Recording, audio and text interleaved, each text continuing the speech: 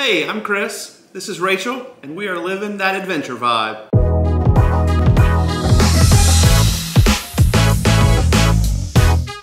On this video, we are shopping for a new RV. I am so excited. This is this is kind of the fun part of like this decision. Like it's been a lot of like trying to figure out if we're gonna go on the road full time or not go on the road full time and like what the benefits of that have been. But now it's time. It is time. We're excited for it. Yeah. I I'm kind wait. of ready to get back on the adventure. As you can see, we're still in the Sticks and Bricks. Uh, we actually did some relocation and rented a place for a little while while we were figuring this all out. So coming to you today, still in that, but I'll tell you, the day we turn the keys in and hit the road again, oh, cannot wait. So be ready. And we have had, I feel like, so many different types of RVs in the past. We've tried them. Life has changed. Uh, if you followed us before, we were on the road full time in 2019. We were in a 26 foot travel trailer. Since then, well, before then, we had a teardrop that we built. Yeah, we built that teardrop. That thing was amazing. Ugh. After we got off the road full time, we've had a couple of other teardrops. We even had a Class C in the whole mix. So It was a Jayco 29MB. And it was like, we got it at the beginning of the pandemic, and it was supposed to be like our transition from full time to part time. That's what it was supposed to kind of be. Yep, didn't work out. It didn't work out. So we've been through a lot of different RVs, and now that we're decided to go back on the road full time, we kind of went back and forth. What is the right answer? So there's a couple of those that we have never had. So we've never had a fifth wheel, and we've never had a Class A. We've been in plenty of them. We're familiar with them, but we've never actually owned one. It's interesting because those are the exact types of RVs that we're considering um, for full time now. The ones that we haven't had, the fifth wheel and the toy hauler. And we have looked at all of them from the very small to the humongous ones. But we have a budget. Got to stick within that budget. So the the budget is key for us, but paired with that is how do we want to travel? What is that travel life can look like?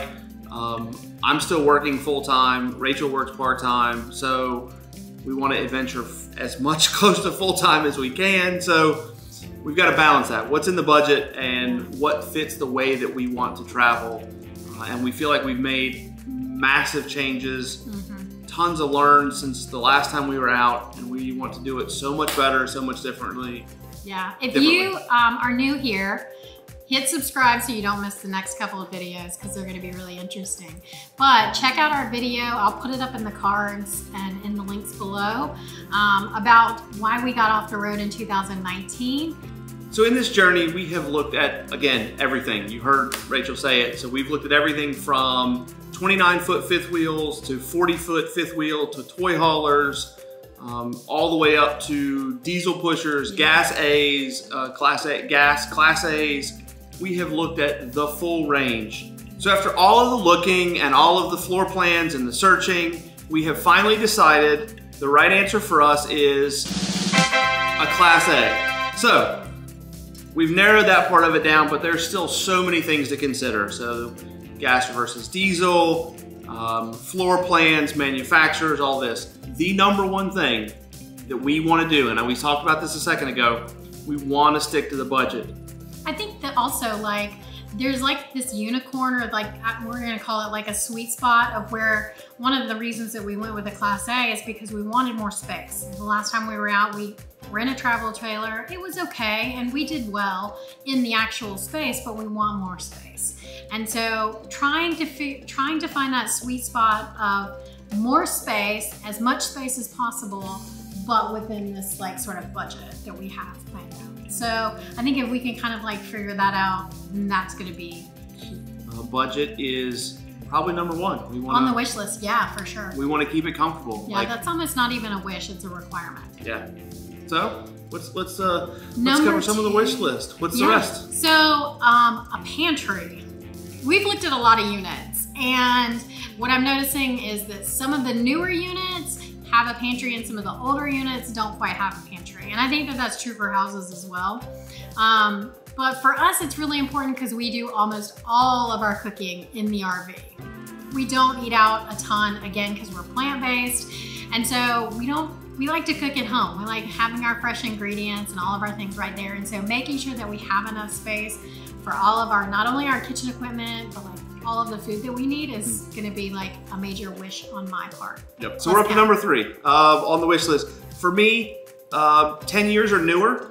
So a couple of reasons for that, but um, you know, a lot of it around warranties, insurance prices, you know, getting stuff fixed, part availability, which is a challenge right now. But um, 10 years or newer, we are open to a little bit older unit, uh, but we really want to stick to that 10 years. So it's 2022, so 2012 or newer. The 23s just came out, so 2013 or newer time frame uh, would be fantastic. So 10 years or newer was our third wish list item. Our number four wish list item is opposing slides in the living space. Um, because we have a little mini doodle and he loves to have like room to like play um, and he doesn't, he's not gonna have a backyard. It's important for us to have a little bit more floor space and an open feel to the coach. But we wanna have opposing, that's a big wish list. Just makes the coach feel so much larger when you have those opposing slides. Yep. And wish list number five, also around our little guy. Um, our Riley is kennel trained, so he's in his kennel a lot. He sleeps in there. He'll actually travel in there. That's his kind of his happy place in his in his room. So And as we do, we're gonna do some walkthrough videos through this and you'll see us kind of like talk about Riley's kennel space and that's really what that is about. We wanna, if, if we can modify it like a floor plan by modifying furniture, then we're willing to do that. yeah, Um, or pull out a recliner or something like that in order to make room for his little space because he's part of our family, so he, he needs to have his own little space. Yep. Number six, are we on six? Let's go with that. Yep. We're on six, and that is a comfortable bathroom. Um, some of the coaches that we went into had really small bathrooms, and having you know everything from you know a small bathroom in our, in our travel trailer all the way to like a larger a little bit larger bathroom in the Jayco. Um, having a larger bathroom, at least a little bit more floor space so that you can get out of the shower and dry off and like you're not feeling so cramped um, is kind of important. Some of the some of the coaches have a lot smaller bathrooms and some of them have really large bathrooms. I don't I kind of put something in the middle, I think. Yeah, we had a we had a 22 foot for a little while, where the way it was laid out to get out of the shower and get dried off and get dressed, you stepped out of the bathroom, you were basically in the kitchen. Yeah. So um, it worked. We were weekending part time, and we did a week in that one, so Yeah. it worked for that. But it's not a full time, so we No. want a comfortable bath to be able to Yeah. do our things. A bath and a half would be cool, but not a requirement. Yep, for sure. Um, number seven. Number seven. we are not big television people, Mm-hmm. but there's some weird placements What is up with that? of televisions in some of these coaches where it's like, how do you even watch that from a comfortable position? So I would love to find one that's got like the televator opposing, you know, Yes. opposing the couch. If you haven't seen those, the televators, the TV that raises up out of a counter, oftentimes it's in front of a window, but the beauty is when you lower that, you get the window back. So if you're not watching all the time, um, similar to that, kind of where those televisions are placed, some sort of a tech area, I'm gonna put up some sort of a mobile internet setup together. So having that in a space that makes sense, with a television that makes sense. So the tech part of this is a, is a key piece because, Yeah. you know, man, there's some weird, weird TV placements that I just don't get. the very, very last um, thing on our wish list, which I don't think our wish list has been too bad. No, doable. Um, I think it's totally doable. Is windows upon windows upon windows. One of the things that we noticed about um, checking out a lot of these class C, class A's is that there's not a lot of windows. When you go in like the fifth wheels, Hmm. they have tons and tons of windows, and there's so much light coming in. Yep. But a lot of the Class A's, obviously they're trying to maximize storage. So there's cabinets up above. So having as many windows as possible um, would bring in as much natural light as possible and I think would just feel better and feel more open. Yep. So that is our wish list for what we are shopping for. Okay, so we know it's gonna be a Class A.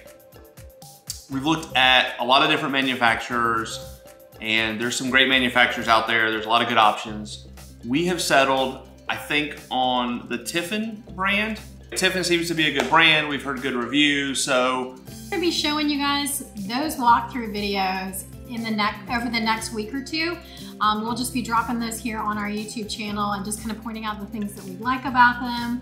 If you guys own any of these floor plans, we would love to know your feedback on what you like about them, what you don't like about them if you toured them, what you liked, or whether you decided to buy them or you didn't decide to buy them. Thank you guys so much for watching this video and check out the floor plans that are on their way. Make sure you hit the thumbs up button. It really helps us out to push our channel out there and lets people know to come on over and watch this crazy journey of ours. And also make sure that you subscribe because we will be revealing in the next few weeks what coach we decided to move forward with. Oh, the suspense, it's killing me. so drop your comments below, tune in, more coming soon, and we can't wait to see you on the next one.